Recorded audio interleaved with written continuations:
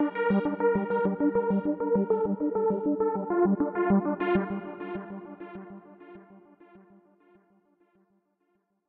you think too much, you sometimes die inside.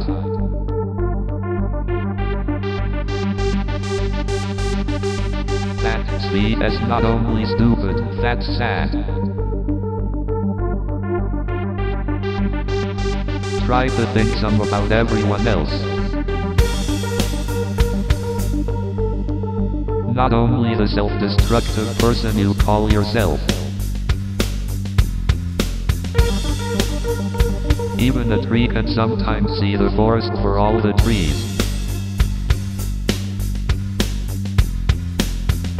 That means that you can find yourself again sometime.